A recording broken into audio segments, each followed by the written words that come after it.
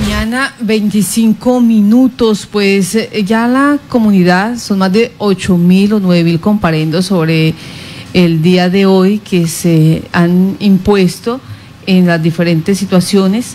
Muchos de ellos consideran que su comparendo eh, pues eh, no llena los requisitos y por lo tanto eh, están haciendo el proceso de oponibilidad, de decir por qué no, porque son agricultores o son ganaderos o sencillamente eh, estaban con pico y cédula en ese momento para movilizarse. Estos comparendos que tienen oponibilidad, pues han presentado grandes problemas, grandes y graves problemas en las inspecciones de policía. En Yopal, por ejemplo, hay dos inspecciones de policía. En la Secretaría eh, eh, de, Tránsito Departamental en Agua Azul hay una inspección de policía. Estos comparendos, eh, que son muchos, pues ellos dicen, los, las personas que están afectadas por esos comparendos dicen que se les está tomando del pelo.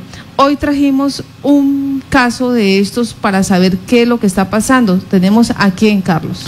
Marta, pues una de las personas que se ha visto afectada por esta situación en el departamento de Casanare es Freddy Cáceres, pues es un agricultor. Recordemos que él tiene eh, algunos cultivos de unos eh, de unas eh, verduras aquí en el sector de Morichal y pues se ha visto afectado por eso y pues ha querido denunciar lo que está pasando con el tema de este tipo de comparendos. Freddy Cáceres, buenos días. ¿Qué es lo que está pasando con estos comparendos? Sí, buenos días. Pues primero que todo, agradecerles a ustedes por la oportunidad que nos dan de, poder quejarnos ante, estas anomalías que están pasando. A ver, el día 5 de mayo, yo me desplazaba, estaba precisamente en el ICA haciendo unas una de una verificación de papeletas. Después de que uno trae un ganado a alguna parte, pues toca ir a llevar las papeletas ya que se ingresan al sistema para poder después vender. Necesariamente tenía que sacar el ganado y me fui a hacer esa vuelta ese día. Eh, pues yo no tengo certificación aquí a nivel municipal, pues ya nosotros somos productores del, departamento a nivel Trinidad y Astillo Par. Eh, y salí a hacer, hacer una compra en el momento de las 12 del día, mientras me atendían en el ICA, pues ahí hay que hacer unos turnos a veces que demoran 6 horas, 5 horas, a comprar unos insumos que tenía que comprar para la finca. Un momento pues me desplacé hacia eso, hacia el almacén, y me cogió un retén de la policía y me pidieron pues documentación todo uno vive, pues iba tranquilo porque tengo una certificación de la alcaldía de Trinidad, que somos productores de allá también. El policía le presenta esta certificación, le presento el turno de mi le presento papeleta, esto no le valió a él, no sé qué clase de autoridad o qué clase de documentación tengo que traer. Me, me, me, coloca el comparendo, un comparendo por tipo y cédula, pues.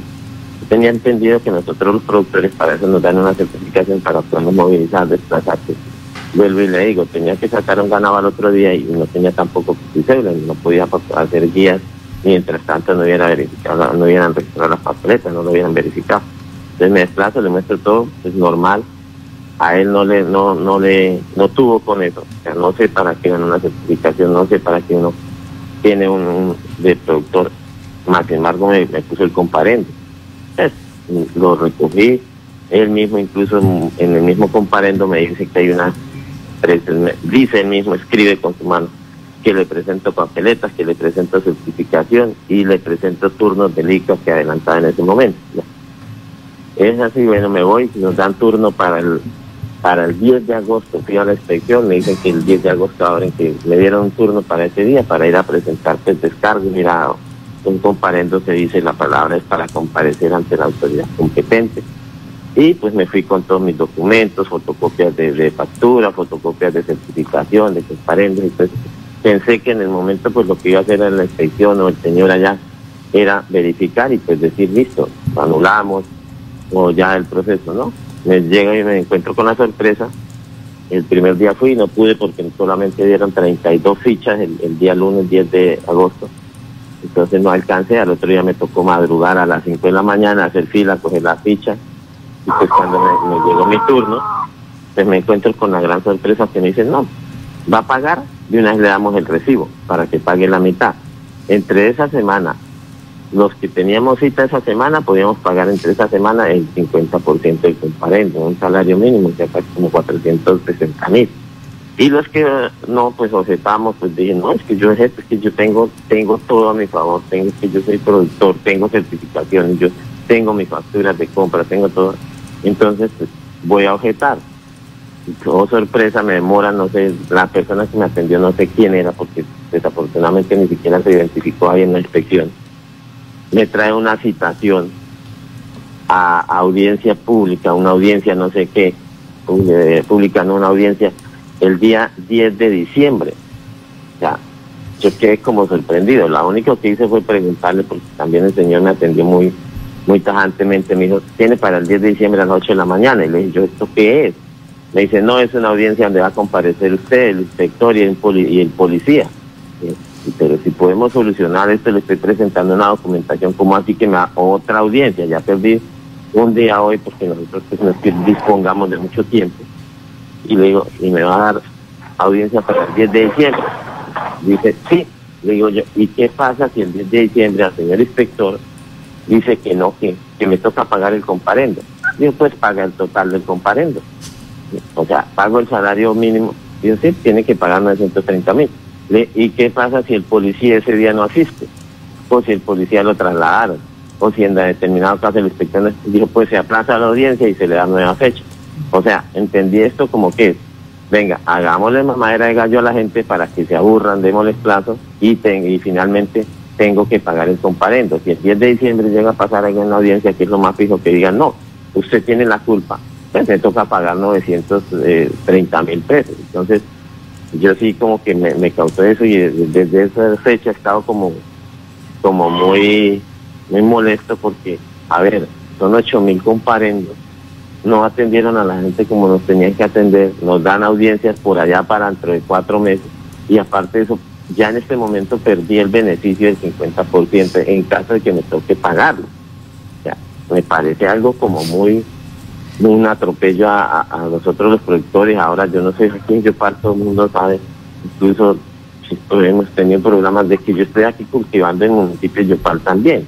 O sea, yo digo a la alcaldía de Yopal, cuál es contra nosotros los que estamos generando empleo, que no le estamos quitando, que no estamos haciendo una carga al municipio ni nada. Entonces, ¿cuáles son los beneficios que tenemos? Sí, eh, eh, Freddy, permítame, ¿nos ayuda usted a saber a qué inspección mm, fue, la, eh, fue la que le tocó asistir? La inspección fue en la Casa de la, de la Justicia, la, me parece que es la 10, no estoy seguro la que funciona ahí. Sí. Bueno, estábamos o estamos tratando de hacer contacto porque ayer le, dejamos, le pedimos muy gentilmente al secretario de Tránsito y Transporte, al ingeniero Orlando Cruz, que por favor nos concediera entrevista eh, con este tema, tema pago de infracciones y retiro de vehículos inmovilizados, porque el otro, la otra situación que se presenta es con aquellas personas a quienes les han inmovilizado sus vehículos. Tienen más o menos este mismo, este misma, esta misma situación no se les recibe eh, allí en, el, en los parqueaderos, no hay quien atienda y esto pues va dilatando en contra de los usuarios. Eh, ¿cuáles, ¿Cuáles son los inspectores que tenemos eh, en este momento? Está Héctor Beltrán, creo que es, Héctor Beltrán y, Estefanía Vargas, pues hemos intentado comunicarnos con los inspectores y no ha sido posible, pues si bien los teléfonos suenan, eh, no ha sido posible que ellos respondan la llamada. Le agradecemos a los inspectores, eh, tanto el primero y segundo, inspección de tránsito, del municipio de Yopal, nos regalen información, así como Freddy Cáceres tiene esta denuncia sobre el pago de los comparendos, porque él pues puede hacer oponibilidad porque dice tengo todo para demostrar que ese día yo tenía la posibilidad de salir a hacer las diligencias, ya que soy ganadero y agricultor. o sea, estoy dentro de las 46 excepciones. Entonces no sabemos ni por qué el policía hizo el comparendo o por qué la inspección de policía tiene este tratamiento. Así hay más de un caso dentro de los 8 mil o 9 mil comparendos que en este momento están reflejados. Y hay que recordarle a la ciudadanía que el hecho de que se le imponga este comparendo no refleja automáticamente una multa. Ya lo han dicho en repetidas ocasiones los abogados. El comparendo es justamente eso, una orden de comparecencia ante el despacho de los inspectores para... Eh, poder presentar sus descargos y justamente como al, al igual que nuestro agricultor le digan usted por qué estaba en contravención de la ley. Ah, bueno, yo tenía mi permiso de movilidad, yo estoy dentro de las excepciones del decreto o yo tenía ese día pico y cédula y ahí es donde se resuelve el proceso, no automáticamente el, el hecho de que usted tenga un comparendo refleja que tenga una sanción. Sí, señor. En ese orden, pues estaremos atentos, Freddy, le agradecemos a usted eh, este Sí. llamado y de paso, Marta. señor, cuéntenos. Es, es que aquí claramente se, se evidencia un silencio administrativo, pues que, que ¿qué conlleva el silencio administrativo? Pues dejar pasar los, los términos, ¿para qué? Para que después nosotros aparezcamos reportados ante el municipio, los que fueron al municipio tránsito en el RUN, que aparezcamos reportados y la única forma de sacarlo es pagando. Entonces sí, yo sé que estamos en una en una situación económica en la, por la pandemia y que el municipio necesita recursos, sí, pero esta no es la forma. Yo creo que aquí también el secretario de gobierno también es la persona pues directamente responsable, el alcalde, y yo veo esto que sí es la forma de silencio administrativo para dejar que pasen los términos y pues nos, nos llegan a, a tocar pagar el comparendo. Pues, vuelvo y les digo, no sé la alcaldía, la Sí. forma en que está ayudando al campesino, porque realmente por aquí, por este lado de donde vivimos, la alcaldía no existe, no ha llegado, lo único que ha llegado es la policía, en casos, en algunos casos, eh, hacer controles, hacer a, a colaborar a, a los campesinos y en otros casos cuando salimos al pueblo pues atacarlos. La verdad es que no es solamente la primera vez que, que nos han, han sacado eh, comparendo, tienen otras personas también, a muchos campesinos, sino pues desafortunadamente muchos callan por por miedo a, a salir a denunciar, por miedo a las represalias de la administración, por miedo a que esto y lo otro, que porque el familiar está trabajando en la alcaldía, porque están esperando el subsidio de la alcaldía. Entonces nadie denuncia esto que está pasando por miedo y por, por lo que le digo. Lo, es, pero yo realmente lo que estoy viendo es un silencio administrativo de, de, de adrede para que para recoger recursos. Imagínense que no más recojan cinco mil comparendos por nueve mil, por 900 mil pesos. Estamos recogiendo muchísima plata que finalmente sale de donde del mismo bolsillo de la, de la comunidad. ¿Y qué nos está dando el municipio? Nada, absolutamente nada. En el caso de Yopal no hemos recibido absolutamente nada por estos lados de donde estamos nosotros produciendo. Y vuelvo y le digo, y no es un secreto que yo estoy haciendo padre aquí en Yopal, aunque vivamos también, tengamos en, en Trinidad, sí, pues no quiere decir que no estemos trabajando por Yopal. En Yopal, Entonces, ¿qué, ¿qué está usted sembrando? ¿Qué está cultivando? Marta, eh, seguimos ahí con el tema del cilantro, pues ya gracias a Dios y gracias a, a la comunidad de Yopal tenemos, pues, ya hemos ido creciendo poco a poco y en este momento pues tenemos cultivo de cilantro, tenemos maíz, tenemos plátano al menos para comer, pues, con muchas afectaciones porque hasta el río también se nos se nos salió el río Charte y nos dañó cultivos, pero ahí seguimos haciendo parte. Entonces, ahí todo el mundo creo que hasta el mismo participé en un programa de la gobernación donde ya me mi- miraron en cultivo, donde afortunadamente la secretaria de Agricultura en este momento es sabedora de que también soy cultivador de aquí del municipio, no solamente me acaba de registrar el mismo municipio, nos acaba de hacer un registro de como pequeños productores aquí de la región. Entonces, le digo, no sé cómo, no sé cómo que tengamos que hacer para demostrar que nosotros somos productores. Que por favor al menos nos quiten esa zozobra de que tenemos un comparendo que 930 mil pesos no es muy fácil conseguirlo. Entonces yo sí le hago un llamado a la alcaldía.